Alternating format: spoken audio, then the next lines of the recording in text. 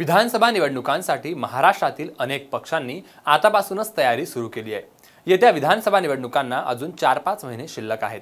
मात्र विविध नेते मंडळींकडून मोर्चे बांधणी करायला सुरुवात झाली आहे.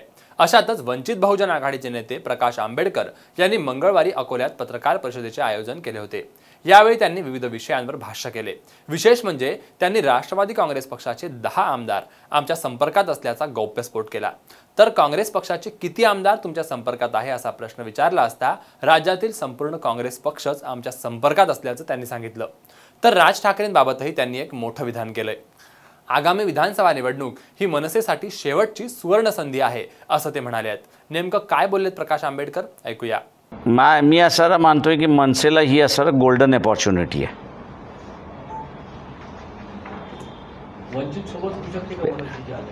ते नाही मला माझा काँग्रेस पक्षालाही सल्ला राहणार आहे. की युतीच्या राजकारणामध्ये त्यांनी त्यांची संघटना मातीत मिळवली.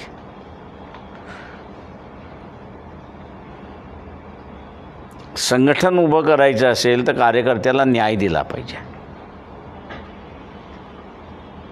आणि तो न्याय मिळायचा मिळवायचा असेल तर त्यांना दोनशे अठ्ठ्याऐंशीच्या अठ्ठ्याऐंशी जागा ह्यांनी लढवला तर काँग्रेस रिवाईव्ह होण्याची पॉसिबिलिटी आहे. नाही तर काँग्रेस एन जी ओ म्हणूनच उभी राहील अशी परिस्थिती आहे.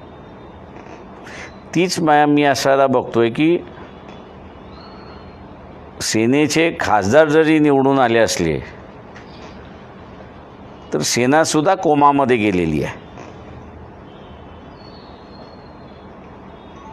अशा परिस्थितीमध्ये राज ठाकरेंना एक संधी असं मी त्या ठिकाणी मानतोय. म्हणजे सेनेला एकशे पस्तीस जागा मिळणार. आणि बी जे पीची आघाडी आणि त्यांचे मित्रपक्ष जे आहेत ते एकशे पंचावन्न. पंचावन्न? एकशे त्रेपन्न. एकशे त्रेपन्न ते लढणार.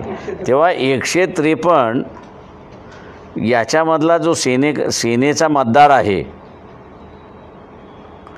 त्याला Raj Thackeray very easily catch करू शकतात.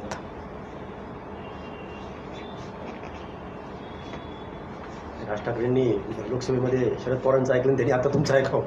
तर माझं ऐकावं असं नाही. मी जी प पॉलिटिकल सिच्युएशन आहे ती पॉलिटिकल सिच्युएशन मांडली की ही गोल्डन अपॉर्च्युनिटी आहे त्यांना. याच्यानंतर ही अपॉर्च्युनिटी येईल असं मला वाटत नाही आहे शेवटची संधी आहे. ती शेवटची संधी आहे राज ठाकरेला की एकशे त्रेपन्न मतदारसंघामध्ये सैनिक हे त्यांच्या बाजूने ते खेचू शकतात. किंगमेकर होऊ शकतात. होऊ शकतात ना. मनसेनं शरद पवारांचे न ऐकता विधानसभेची निवडणूक स्वबळावर लढवावी असा सल्लाही प्रकाश आंबेडकर यांनी राज ठाकरे यांना दिलाय. तर स्वाभिमान शेतकरी संघटनेच्या राजू शेट्टी यांनी त्यांचा पराभव वंचित बहुजन आघाडीमुळे झाला असं म्हटलं होतं. या संदर्भात प्रकाश आंबेडकरांना प्रश्न विचारला असता राजू शेट्टींना आम्ही आमंत्रण दिलं होतं मात्र त्यांनी काँग्रेस आघाडीला प्राधान्य दिल्याचं त्यांनी सांगितलंय. ते मी त्यावेळेसही त्यांना म्हणालो होतो की तुम्ही तिथे आहात गॅरंटी नाही निवडण्याची. तुम्ही जर आमच्याबरोबर असाल तर गॅरंटेड निवडून येऊ शकता अशी असणारी परिस्थिती आहे. आणि आता ते रिअलाईज होऊन येस आमच्या काही कार्यकर्ते नेत्यांच्याबरोबर त्यांची असं चर्चा सुरुवात झालेली आहे. बघू पुढे काय होतं ते. त्यांनी बीबीसीला मुलाखत देताना असं म्हटलं होतं अरुण शेट्टींनी की बाळासाहेब त्यांचा उमेदवार मागे घेणार होते तिथला पण मग त्या बाळासाहेबांनी माझा फोन नाही घेतला. नाही असं आम्ही पहिल्यांदाच व्हेरी क्लिअर म्हणजे ज्यावेळेस माझी आणि राजू शेट्टीची भेट झाली होती त्यावेळेस अनेक इतर कार्यकर्तेसुद्धा वंचितचे उपस्थित होते. त्यावेळेस आम्ही व्हेरी क्लिअरली राजू शेट्टींना असं विचारलं होतं की काँग्रेस राष्ट्रवादीबरोबर आमचं झालं नाही तर तुम्ही कोणाबरोबर? त्यावेळेस त्यांनी इंडिकेशन असं दिलं होतं की मी काँग्रेस राष्ट्रवादीबरोबर नाही. तेव्हा आम्हाला क्लिअर इंडिकेशन असं होतं की आमचं जर जमलं नाही तर ते आमच्याबरोबर नाही. त्याच्यामुळे आम्ही असं इलेक्शन लढण्याची सुरुवात त्या ठिकाणी केली. त्यांना निर्णय घ्यावा लागेल की ते आमच्याबरोबर राहणार. किंवा दुसरी कुठली आघाडी होणार असेल त्यांच्याबरोबर राहणार त्यांना क्लिअर कट स्टँड घ्यावा लागेल. आगामी विधानसभा निवडणुकीसाठी राजू शेट्टी यांच्याशी प्रमुख कार्यकर्त्यांची चर्चा सुरू आहे. मात्र राजू शेट्टी हे कुणासोबत जाणार ते त्यांनी लवकर ठरवावं असंही आंबेडकर म्हणाले आहेत. तेव्हा येत्या विधानसभा निवडणुकांसाठी वंचित बहुजन आघाडी नेमकी काय भूमिका घेते हे पाहणं महत्त्वाचं आहे.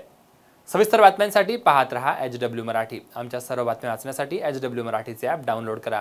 नमस्कार. आता सर्वात आधी बातम्या मिळवा आमच्या मोबाईल न्यूज ॲप्लिकेशनच्या सहाय्याने.